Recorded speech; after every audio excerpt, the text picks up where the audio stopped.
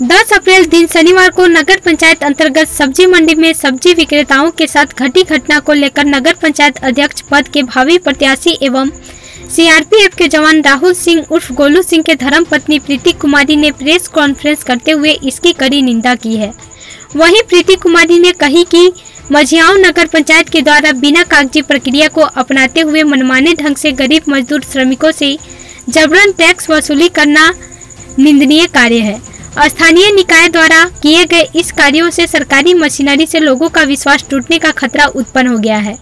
इस वैश्विक महामारी में क्षेत्र की भोली भाली जनता ठगी करने एवं शांति व्यवस्था को भंग करने का प्रयास नगर पंचायत के इशारे पर किया जा रहा है। प्रीति कुमारी ने कही कि पिछले दस दिनों से सब्ज़ी मंडी में अवैध रूप से सब्ज़ी विक्रेताओं के साथ टैक्स वसूली किया जा रहा था।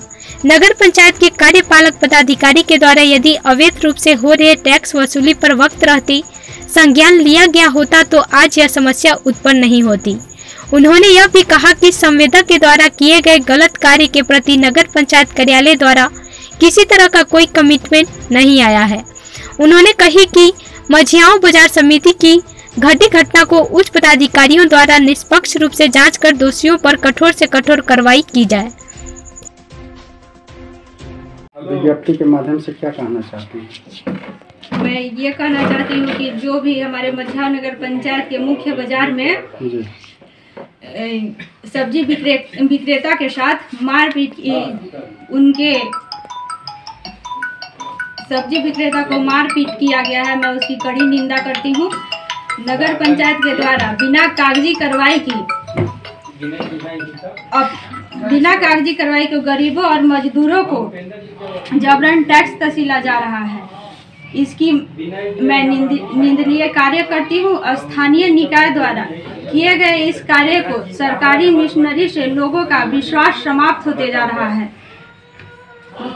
इस वैश्विक महामारी में क्षेत्र के भोले भाले जनता को ठगी करने एवं शांति व्यवस्था को भंग करने का प्रयास किया जा रहा है तो चौदह अप्रैल को आपका किसान संघ के साथ लोगों द्वारा मतलब धरना प्रदर्शन आप क्या कहेंगे? इस पे मैं यही कहना चाहूँगी कि जो भी हमारे सब्ज़ी विक्रेता भाई हैं, उनको इंसाफ मिले। ताकि अगर उन लोग मेहनत करके मजदूरी करके अगर हमारे यहाँ सब्ज़ी उगा के नहीं लाते हैं तो हमारे क्षेत्र में सब्ज़ी कहाँ से लाएँगे? और महँगाई भी अगर उन लोग नहीं ला रहे हैं तो दस का सब्ज़ी पचास का बिक रहा है।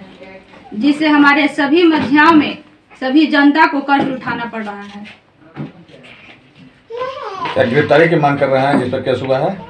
जी? गिरफ्तारी की मांग कर रहे हैं केस हुआ है? जी हाँ ये भी जिस जो भी इसमें शामिल हैं हमारे सब्ज़ी विक्रेता को नुकसान पहुँचाने में मैं उनकी गिरफ्तारी का मांग कर रही हूँ, उन पर कठोर से कठोर सजा मिले उन लोगों को ताकि आगे से यह काम न करें।